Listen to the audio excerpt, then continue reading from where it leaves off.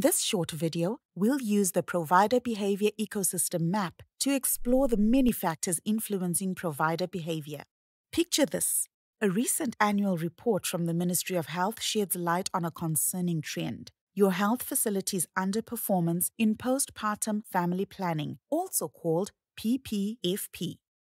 The report uncovers a significant unmet need in your district for family planning services among postpartum patients. As a result, a district official from the Ministry of Health will visit your facility to help you identify the factors that are potentially contributing to this outcome. This includes provider behavior. The district official shares that he recently heard about a suite of tools the Provider Behavior Ecosystem Map, and the Provider Behavior Change, or PBC Toolkit. These help users identify factors that influence provider behavior and design solutions to address them. The purpose is to better understand the situation, not assign blame. The Provider Behavior Ecosystem Map shows how many factors at different levels shape providers' behaviors. It highlights the value of considering the whole system in exploring and identifying relevant influence factors. This map serves as a starting point for creating or improving initiatives aiming to change provider behaviors.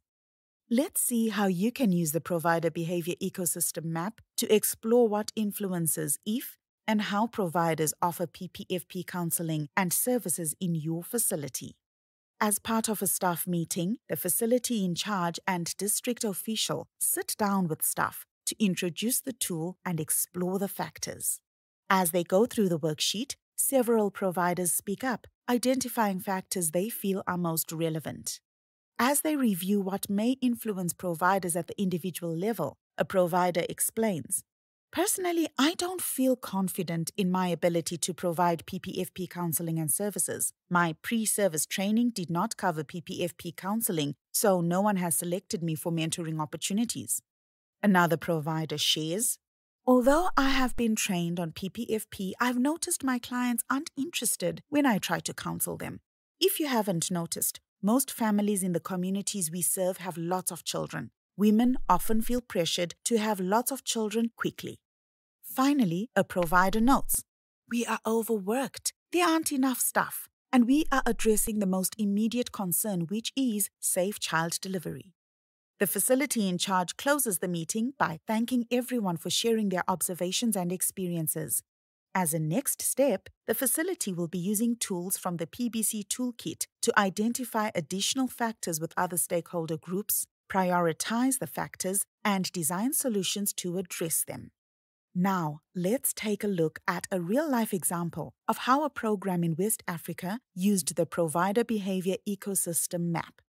Breakthrough Action, a social and behavior change project in the region, worked to help stakeholders better understand the challenges providers face when counseling potential family planning clients. The project conducted semi structured interviews with different stakeholders, including Ministry of Health officials, staff of key implementing partners, supervisors of providers, and experts in provider behavior change in the region.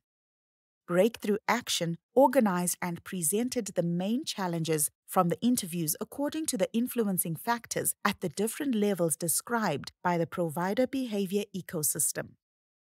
The ecosystem helped ministries of health and partners in each country to organize and visualize complex information on the challenges faced by providers, offer a comprehensive view of those challenges, facilitate an objective conversation on the factors that influence provider behavior, prioritize and focus collective efforts while recognizing the benefits of a comprehensive approach.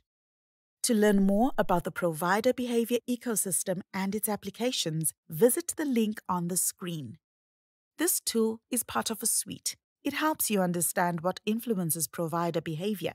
For more on designing effective provider behavior change solutions or to learn how to measure their impact, see the other videos in this series.